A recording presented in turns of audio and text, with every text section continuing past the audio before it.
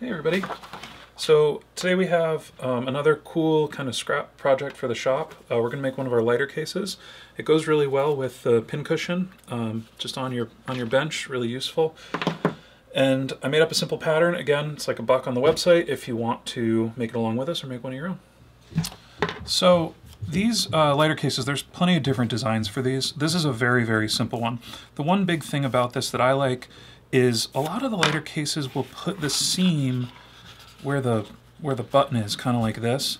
And to me, when you're holding it, you kind of hit that seam, and I just don't like it. So that's why on our pattern, I just switched it and put the seam in the back. So you hold it, there's no seam here, and then as you can see with mine, I always smush the thread down with this, and uh, they start looking really cool after a while. Super simple project, so we'll just get into it. I already cut the pattern out here. It's just two pieces. And we have, it's the same piece of scrap we made our pincushion with last week. We're just going to use more of it and get to tracing it out.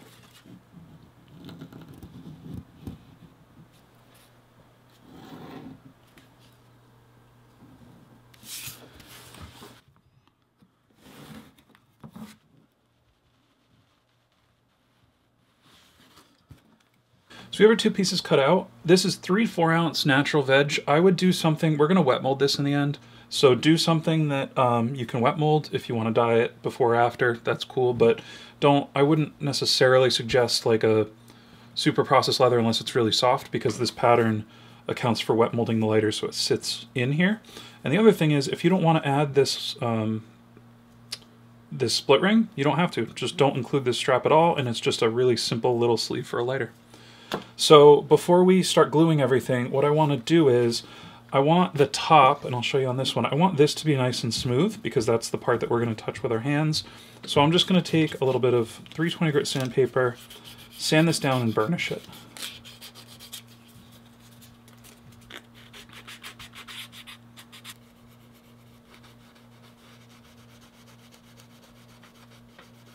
So once we have that burnished, we're going to glue this up, and we're not going to do anything with our split ring tab yet.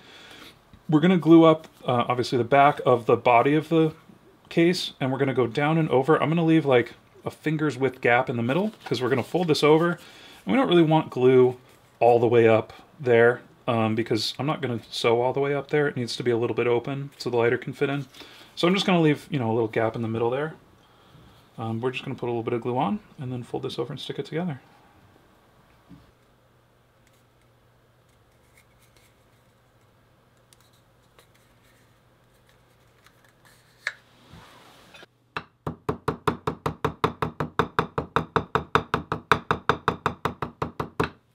So because we're going to put this split ring loop over this seam, we need to finish this seam first. So all I'm going to do is I'm going to level these edges a little bit. I just have a piece of sandpaper. I'm going to put it flat on my workbench and I'm just going to work this back and forth. And then I'm going to do the bottom as well.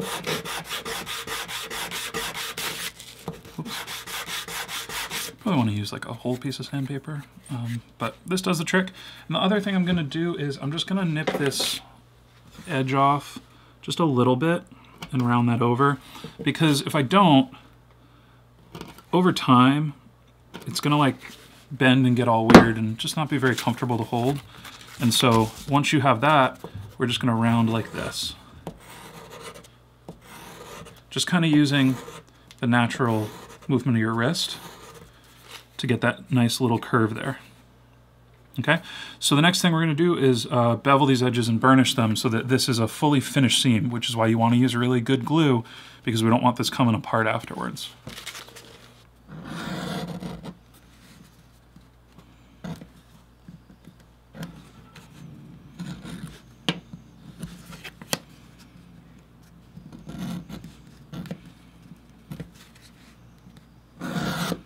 So the reason we didn't do a super huge curve down here is because when I make my stitch line, I want the stitch line to still be a right angle because this is a very small piece and we don't really have room for a curve without making this way bigger.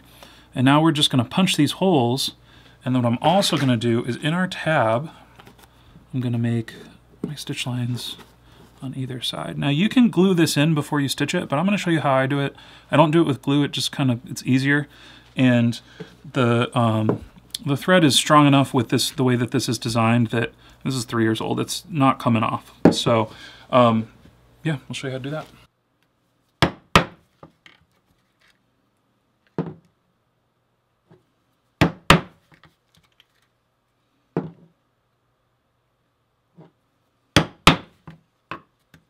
So this little loop here is sized to use Weaver's uh, five millimeter stitching chisels or any five millimeter space stitching chisels.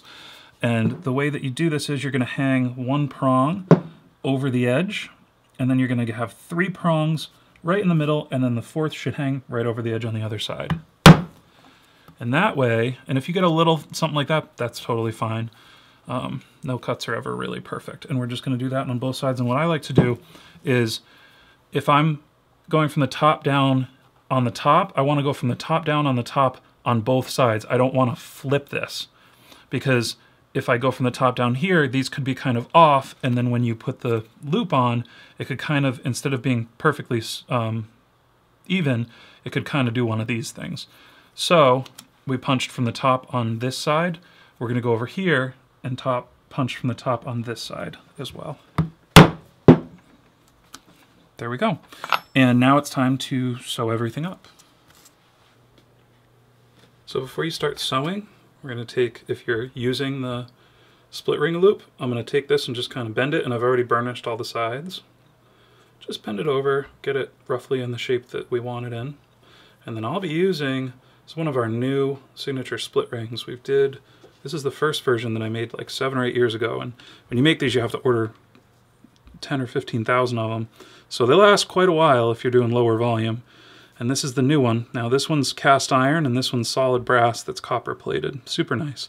Um, so these will be out soon, but I just wanted to use one because we have some samples and actually today the full lot is coming in the mail. So we're waiting on those as we film this and we're super psyched on it. So we're gonna use this one, it's copper, and uh, we're gonna start sewing. So what I did was I put a double stitch on top. Now I'm not usually a huge fan of double stitching that goes over an edge on like a wallet because as this is going in and out of a pocket, um, this is going to be the first point of abrasion and the stitching is going to wear off. But because this is a lighter case, the lighter is going to stick out further than this, so it's going to be very difficult for this to get um, worn down. And also, it's nice to have that extra double stitch there because this is, you know, there's a lot of tension right there. So I put that double stitch here. The next step is we're going to take our loop for our split ring we're going to put the split ring on it, and this is a little tricky, so I'm, Grace is not my middle name. Um, I'm probably going to fumble this about a little bit. But what I like to do is I put the split ring roughly over the first stitch hole. I take my needle and I pop that through. Ideally, there we go, through everything. Once you get that first stitch in, it's pretty smooth sailing. It's a little tricky to kind of hold on to, but you're pretty much good to go. So we're just going to stitch that up like that, make sure it's nice and tight. And you can glue this, um, I just I just don't. Um, and then once we have this loop on, and you can put it anywhere on the on the case too. I just like to just go down one stitch and then the loop. Um, just works the best for for what I use it for, but if you want to put it in the middle or you can go go crazy with it.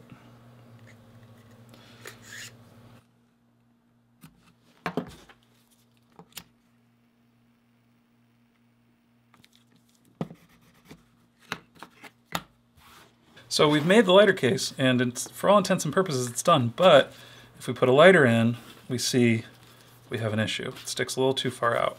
And that's because the last step is, in my opinion, the most fun step. What do I have for water? Well, this is my drinking water. But all we're going to do is just dump this in. You'll see bubbles. Um, I just wait till the bubbles stop. I don't leave it in for 10, 15, 20 minutes. As soon as the bubbles stop, that tells me that uh, the leather's saturated enough to wet mold. That should be good. Dump it out put this somewhere I'm not going to spill it. Then we put our lighter in and we just push it all the way down like that. And there we go. And this is super simple. I mean, it's not, I mean, it is wet molding, but you're not, you know, we don't really have a form or anything. We're just kind of shoving this in here, making sure it's centered, and then letting it dry overnight. So we will see you tomorrow with our finished lighter case. A day later, we're all dry, and here we go. And so I can show you the reason why the wet molding is nice is because now the lighter slides out, you can see the case keeps its shape, and so if you have to switch lighters or whatever, um, it just makes it really easy, really comfortable, and you can see that by pushing this down wet molding it, the lighter now sits right where we want it to. And that shape will stay. This is three, three and a half years old, and um, lighter slides out easy. The shape stays because we wet molded it. And we go through lighters maybe once every two or three months. And it's nice to just be able to slide it out, put a new one in, and you're good to go. And so I have a little sneak peek for you. Um, I think I had mentioned yesterday while we were making this, this is a sample of our the new split rings that we have coming, the signature split rings. Well, look what came in the mail today. A dozen boxes, hundreds of pounds of metal, and um, this is just the start of some of the stuff we've been working on for months now. And so these are split rings. They're made in the style of advertising key rings from the 19 like 10s to the 30s primarily, and we do them the same way, except these are solid brass. So the original color underneath the plating is this brass. This is natural brass. Then we did a copper plated version, and this is a nickel plated version that is then sandblasted, so it's not super shiny like this one. This is beautiful, but it's like chrome basically. So we went with the nice sandblasted version. It's a little more modern. Um, and we'll make a whole video about this stuff because it, it comes with the, we have other stuff launching as well, and we're going to make a video about how we do the custom metal stuff because I know a lot of people want to know about it. But I just thought I'd share a little sneak peek with you. So with that, we're pretty much done with our lighter case. Um, super simple project, but super useful. And I just love having little scrap natural veg stuff floating around my workbench because if you guys are anything like us, you're either making stuff and giving it away or selling it. You don't get to keep a lot of the stuff that you make. And so if you combine that with our pincushion we made last week, you do that a natural veg in two or three years, all of a sudden, you're working with some really beautiful stuff every day that ages and looks great and shows the signs of wear everywhere. Um, and so remember, if you want to make one of these, uh, there's a pattern for a dollar. It's the links in the description. It's on our website. And thank you guys so much for watching. We'll see you in the next one.